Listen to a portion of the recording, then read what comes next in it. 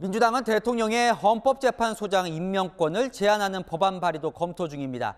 요즘 정치권에서 자주 등장하는 이 탄핵 관련 최종 권한을 갖고 있죠. 대통령의 특별 사면권을 제한하는 법안도 발의됐습니다. 이어서 김유빈 기자입니다.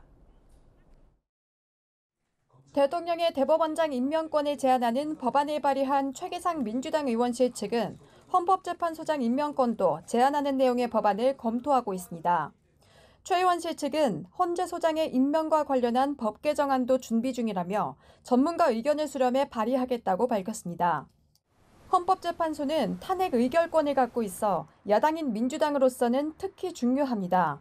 이미 이상민 행안부 장관의 탄핵안이 헌재에 올라가 있고 한동훈 법무부 장관의 탄핵안도 거론되고 있습니다. 당장 올해 11월에 교체되는 헌재 소장이 누가 되느냐에 따라 진보대 중도 보수의 구도가 5대 4를 유지할 수도 4대 5로 뒤집힐 수도 있습니다. 특히 올해만 3명의 헌법재판관이 바뀌고 윤석열 대통령 임기 동안 헌법재판관 9명 전원이 교체되다 보니 오늘 정정미 후보 인사청문회에선 정치 성향을 묻는 질의들이 잇따랐습니다. 기울어진 운동장으로 지금 헌법재판소가 구성이 되는 것이 문제다.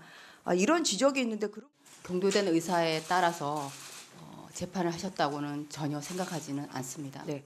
5.18 정신에 대해서는 어, 우선 헌법 전문에 수록되는 것이 마땅한지에 대한 혹시 후보자의 의견은 어떻습니까?